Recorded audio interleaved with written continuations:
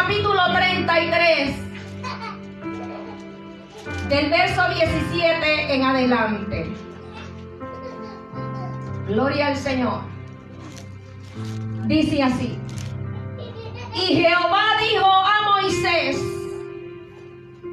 también haré esto que has dicho, por cuanto has hallado gracia en mis ojos y te he conocido por tu nombre.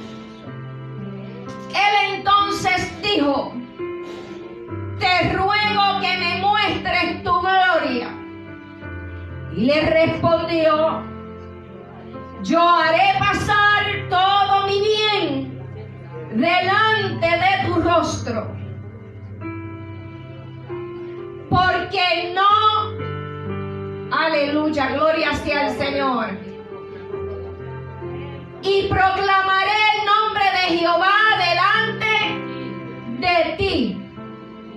Y tendré misericordia del que tendré misericordia. Y seré clemente para con el que seré clemente. Dijo más, no podrás ver mi rostro, porque no me verá hombre y vivirá.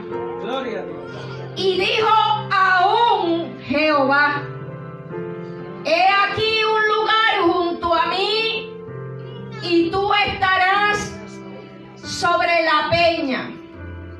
Y cuando pase mi gloria, yo te pondré en una hendidura de la peña y te cubriré con mi mano hasta que haya pasado.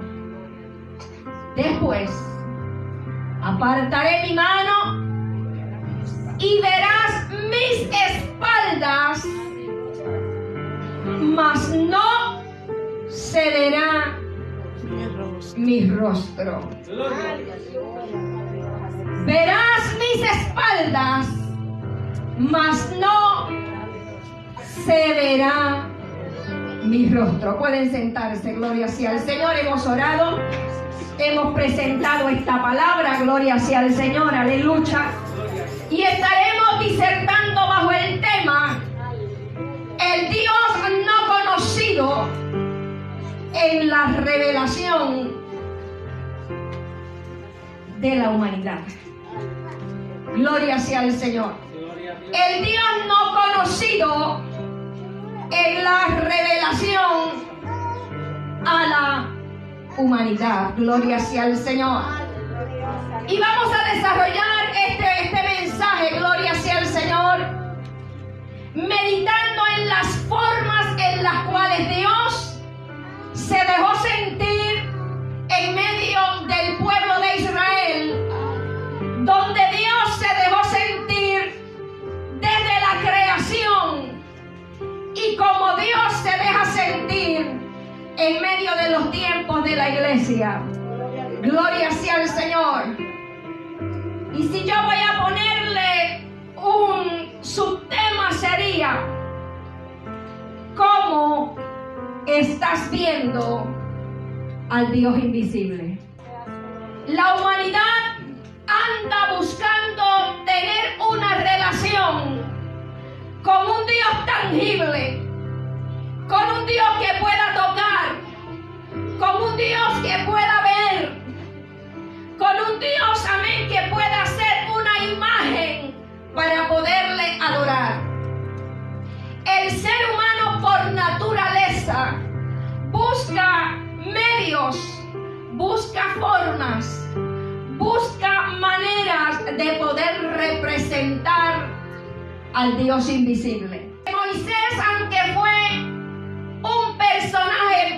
Muy cercano a Dios, aleluya, y al cual Dios le mostró tantas cosas, un canal de bendición que Dios usó en diferentes formas para revelarse al mundo, aleluya, le dice a Dios, si tu presencia no va conmigo, yo no voy a ningún lugar. Aleluya. Porque la presencia de Dios en nuestras vidas es extremadamente necesaria. Usted sin Dios, yo sin Dios, no somos nada. Y nada de lo que emprendamos, si no es para Dios, si no es para darle la gloria a Dios, Dios no lo recibe.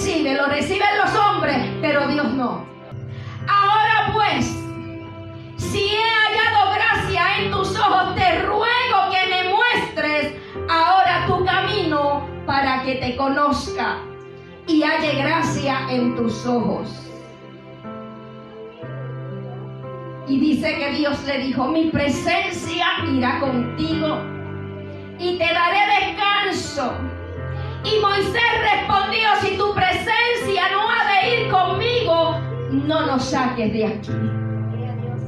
Cuando en tus planes, amén, está el tomar decisiones para ciertas situaciones en la vida, lo primero que tú y yo debemos hacer es consultar con Dios. Oh Dios amado, es tu voluntad que yo haga esto. Es tu voluntad que yo vaya aquí, que yo vaya allá. Es tu voluntad que yo tome X decisión. Porque en todo lo que tú y yo emprendamos, tenemos que darle la gloria a Dios. Moisés dice, ¿y ojos? Yo y tu pueblo sino en que tú andes con nosotros y que tu pueblo y yo seamos apartados de todos los pueblos sobre la faz de la tierra. Y Jehová le dijo, está bien Moisés, todo eso que tú me has pedido está bueno.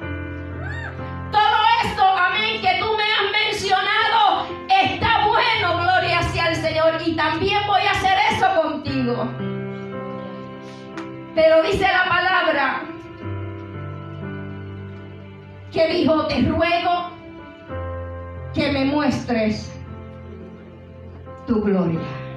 O sea, que lo que él había visto de Dios no le era suficiente. Aleluya. Yo no sé si lo sé si, aleluya, lo que Dios ha puesto en tu vida para realizar es la totalidad de tu llamado. Muchas veces nosotros queremos ver, bendito Dios, lo invisible de Dios. Muchas veces nosotros queremos que Dios revele lo invisible de Él. Gloria sea el Señor. Porque es que en lo invisible de Dios, en lo que tú no puedes tocar de Dios, aleluya, está la grandeza de su majestad. Está la grandeza de su poder. Está, gloria sea el Señor, el trato que Dios quiere tener contigo y quiere tener conmigo. En lo invisible de Dios, aleluya, está la formación del trato tuyo con Dios y de Dios Gloria sea el Señor. Y vemos, bendito Jesús, que Dios se mostró en todo el Antiguo Testamento a través de su voz, a través de diferentes señales, gloria sea el Señor. Lo vemos a través del fuego, lo vemos a través de la nube, aleluya, lo vemos a través del viento, lo vemos a través de la oscuridad, lo vemos, aleluya, en aquel tabernáculo, bendito sea el Señor, donde Dios manda a preparar un lugar llamado Santísimo, porque allí Él iba a mostrarse al pueblo. Bendita sea la gloria de Dios. Y vemos que Dios siempre va a tener maneras para mostrar lo invisible de Él. Pero a través de la historia bíblica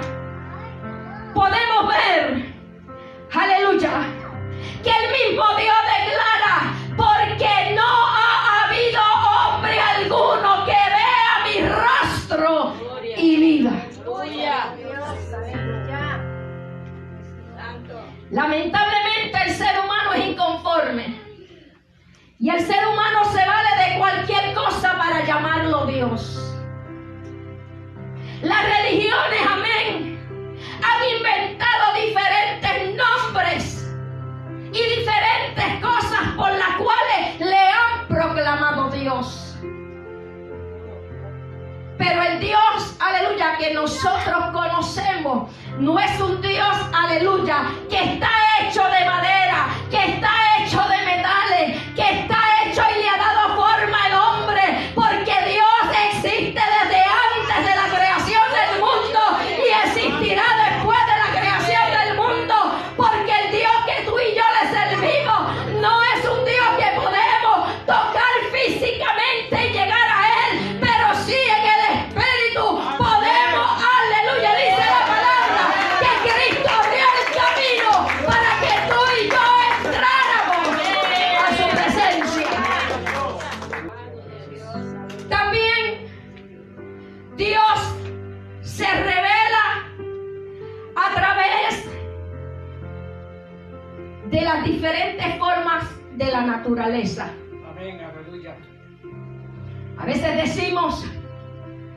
¿por qué pasan estas cosas?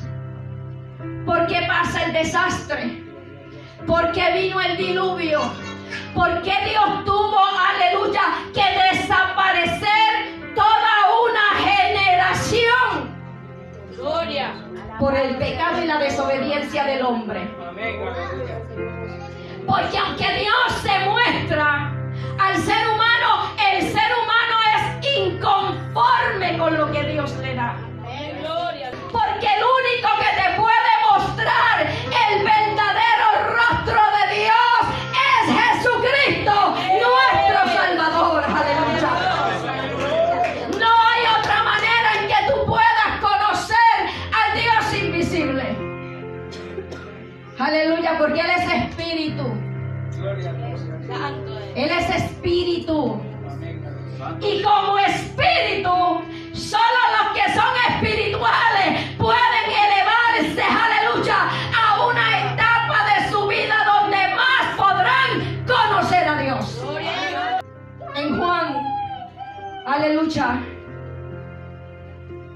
Que en el principio era el verbo.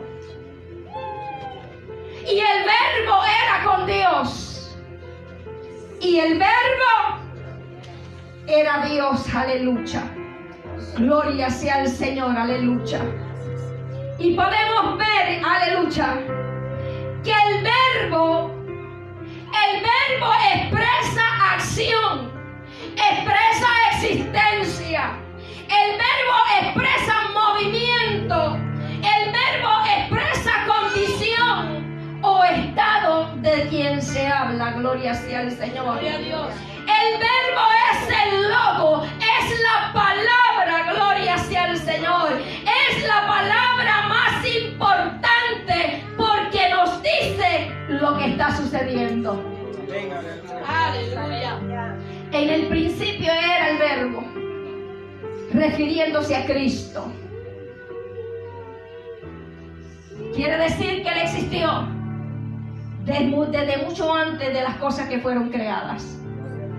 Y como existió antes de, dice la escritura que por Él fueron creadas todas las cosas. Por Él y para Él. O sea que Él fue el que creó, hizo la creación. Que le dio vida a lo creado. Gloria sea al Señor.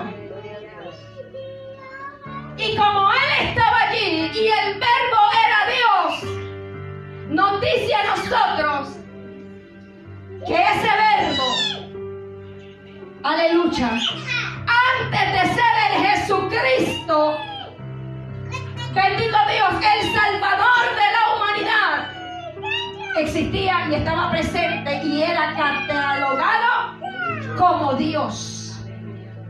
Gloria sea al Señor.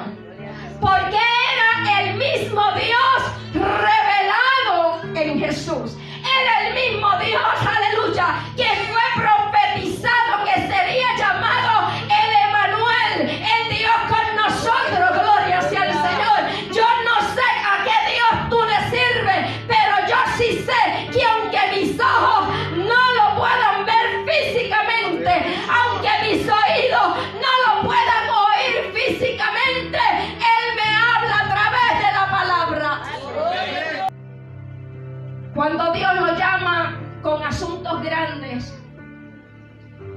al faraón, aleluya.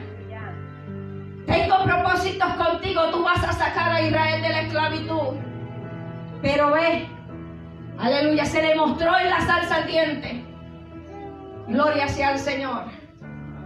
Y cuando Moisés vio aquel fuego, aleluya, a la distancia, porque él venía caminando, estaba lejos, pero algo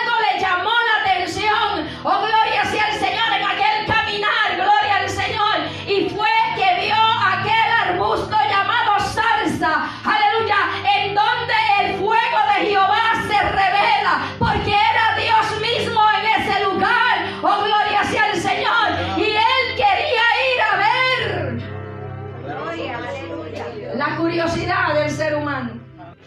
Moisés, Moisés, quita el calzado de tu pie, porque el lugar que, en donde tú estás, el lugar donde tú estás, es santo. El lugar donde tú estás es santo. Yo no sé si usted puede entender que el lugar donde Dios está es santo. Comenzó esa voz a hablarle y le dice, yo soy el Dios de tu padre. ¿De qué padre? Dios de Abraham, Dios de Isaac y Dios de Jacob. Comienza Dios a separar aleluya, a traer a memoria un linaje que estaba escogido con el propósito de Dios. Tú eres escogido para pregonar la salvación. Tú eres escogido por Dios a través del Espíritu Santo para ser pregoneros de este Evangelio. Moisés tuvo que tomar una decisión. Oh, gloria sea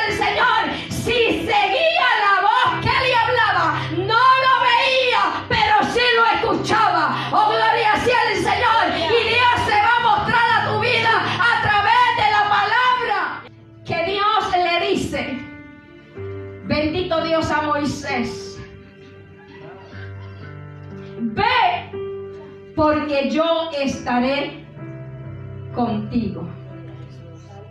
¿Cuántas veces Dios nos ha dicho? Ve, yo estoy contigo. Haz esto o haz aquello, porque yo estoy contigo. No temas en lo que vas a padecer, porque yo estoy contigo. No importa la situación que estás pasando,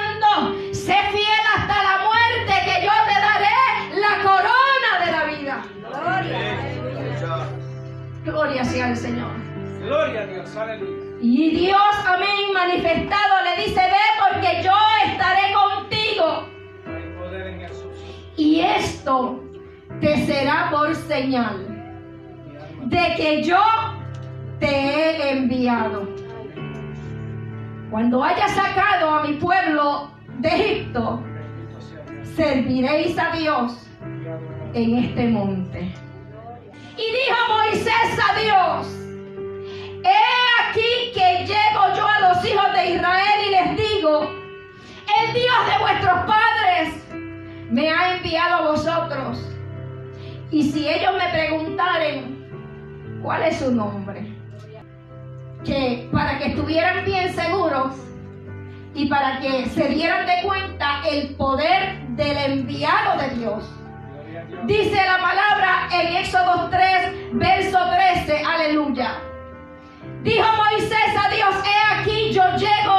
a los hijos de Israel y les digo, el Dios de vuestros padres me ha enviado a vosotros. Si ellos me preguntaren cuál es su nombre, que les responderé. Y Dios dijo a Moisés, ¿cómo fue hermana? Y le dijo Dios a Moisés, yo soy el que soy. Yo soy el que soy. En otras palabras, aleluya. Yo no tengo que darte un nombre físico para que tú entiendas quién soy yo, aleluya. Porque aunque siendo el Dios que tú no puedes ver con tus ojos seculares, Santo Dios, aleluya. Aleluya. Yo tengo el poder sobre mí. Yo soy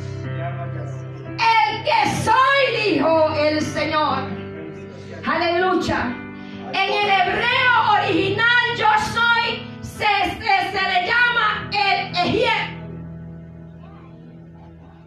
El Ejier.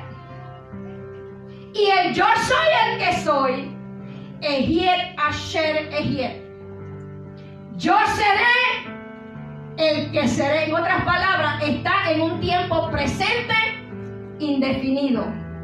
Yo soy el que soy. Estuve antes de ti. Estoy en el tiempo tuyo y estaré después de ti. Gloria sea el Señor. Cristo lo conocemos en la historia de la iglesia como el Dios encarnado. Porque Cristo anterior a su encarnación se presentaba de diferentes maneras en su forma de Dios. Por eso se le llama el ángel de Jehová. Amén. Gloria sea al Señor. Gloria. Por eso hablaba a través del fuego, podía hablar a través de la nube, podía hablar, aleluya, a través de la zarza, podía hablar, gloria sea el Señor, de diferentes formas. Alabado sea su nombre. Pero el ser humano quiere ver algo tangible. Tú esperas para creer lo que Dios quiere hacer en tu vida? Lo que Dios quiere hacer en tu familia, lo que Dios quiere hacer en tu hogar, lo que Dios quiere hacer en tu matrimonio. Santo Dios, aleluya. Es fácil pedirle a Dios. Concédeme Dios esto, concédeme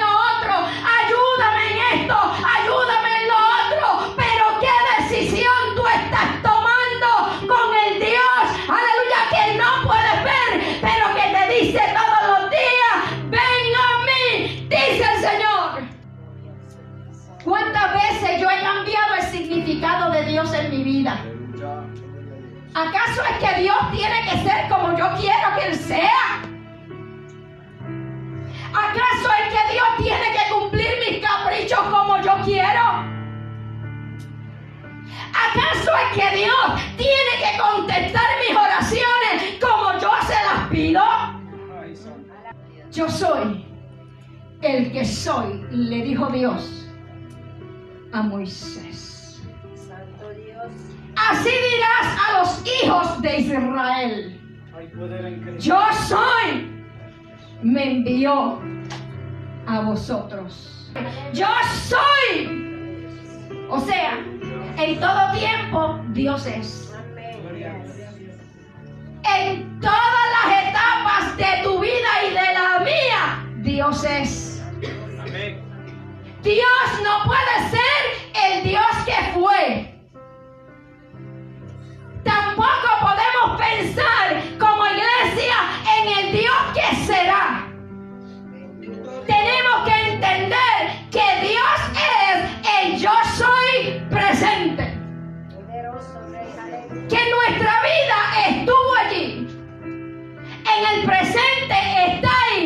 Y seguirá con nosotros hasta el final de nuestros días. Y esto no termina con la muerte, ¿sabes? Gloria sea el Señor. Porque después de la muerte que viene lo bueno. Aleluya. Porque después de la muerte, gloria sea el Señor, es cuando usted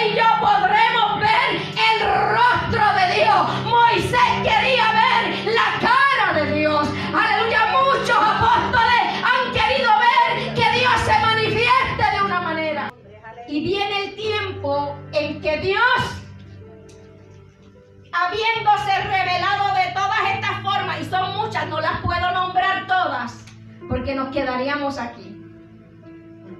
Viene el tiempo de Dios hacerse visible, porque es que el hombre quiere ver a Dios en su esencia. Aleluya. El hombre quiere ver a Dios, aleluya, para tocarlo. Pero el Dios que nosotros conocemos es invisible. Es espíritu. Gloria sea al Señor. El Dios que yo conozco es el Dios que dijo un día, yo soy el que soy. Por eso cuando Moisés le pide, aleluya, déjame ver tu rostro. Para estar seguro, porque eh, en su humanidad, a veces nosotros decimos, déjame ver si, si es Dios quien, quien habló.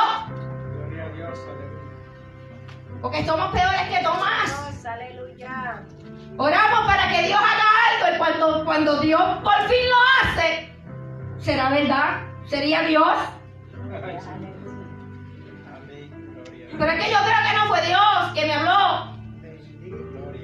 Yo creo que no fue Dios. Yo creo que fue la emoción. O es que yo creo que como, como el hermano o la hermana conoce mis problemas, pues a lo mejor. Y Dios te da directrices y Dios te dice cómo Él quiere las cosas, hermano. Es que Dios te va a decir cómo Él quiere que tú seas para Él. Es que Dios te va a decir cómo Él quiere que tú, aleluya, forjes una vida como cristiano para Él. Y eso solamente, hermano, no esperes que venga un ángel, no esperes un profeta, lee la Biblia. Gloria. Lee la Biblia porque está aquí, aleluya, de está aquí. Que Moisés le dice, aleluya, te ruego me muestres tu gloria. Mucha gente cree que la gloria de Dios es cualquier cosa, hermano. Mucha gente cree que la gloria de Dios es zapatear. Muchos creen que la gloria de Dios manifestada es hablar lenguas. Muchos creen que la gloria de Dios manifestada, aleluya, está en el grito o en el salto. Muchos creen que la gloria de Dios, aleluya, es como el arroz y la habichuela que nos llena el estómago, pero el espíritu se queda vacío. Gloria sea al Señor. La gloria de Dios va más allá de lo que tú puedas ver. Si Moisés hubiese visto la gloria de Dios en su esencia, hubiese caído muerto. Porque la santidad de Dios, la santidad de Dios es tan perfecta. Mire hermano, que si Dios se mostrase a nosotros en su esencia de gloria, no existiéramos. La gloria de Dios es el poder de Dios manifestado en su esencia. Y Moisés le dice, muéstrame tu gloria. ¿Cuántos de ustedes le dicen a Dios, muéstrame tu gloria? Porque lo único que podemos ver de Dios es a Cristo revelado en nuestras vidas. Lo único que tú vas a ver de Dios es la magnificencia de la grandeza de la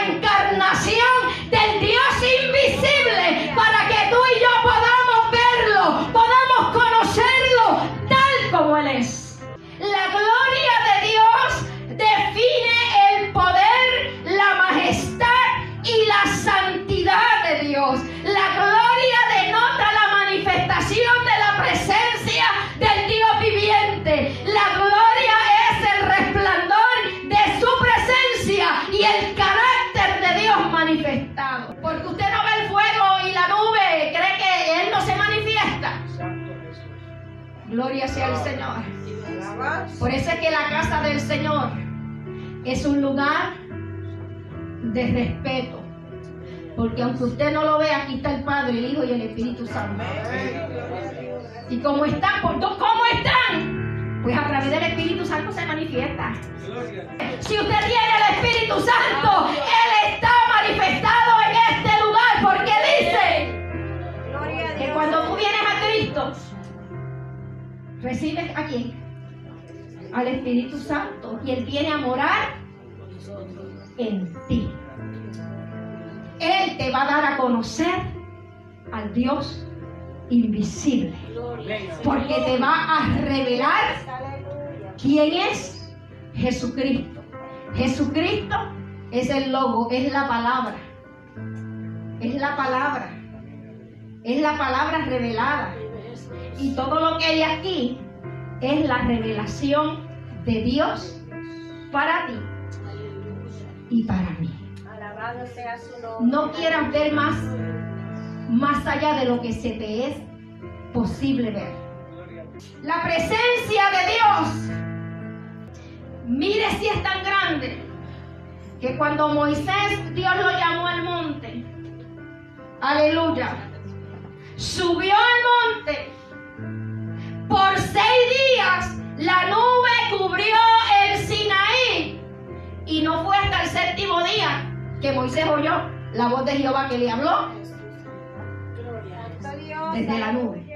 y dice que la apariencia de la gloria de Jehová era como un fuego abrasador en la cumbre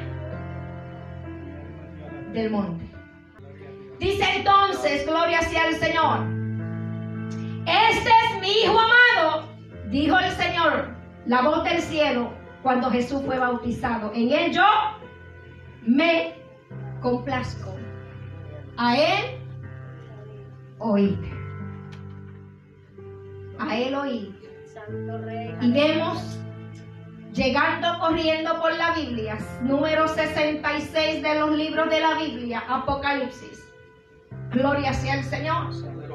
Que Dios también se revela como aquel que fue pronunciado en Isaías, el admirable, el consejero, el príncipe de paz, el único que traerá la solución al mundo entero, a las naciones, a los gobiernos, a las guerras y a la iglesia.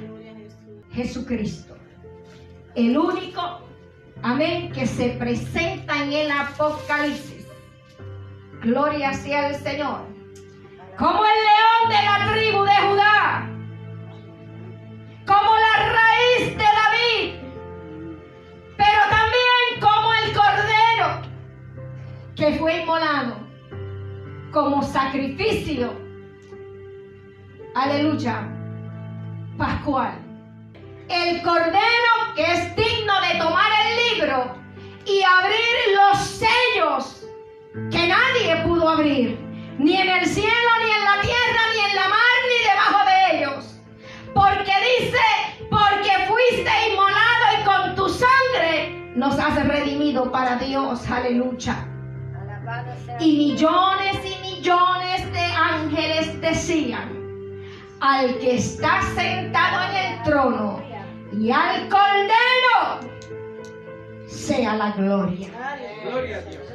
Será llamado fiel y verdadero. Con justicia juzga y pelea. Y en su ropa teñida en sangre había un nombre que decía el verbo de Dios. Su vestidura y en su muslo tenía otro nombre que decía y Señor de Señores.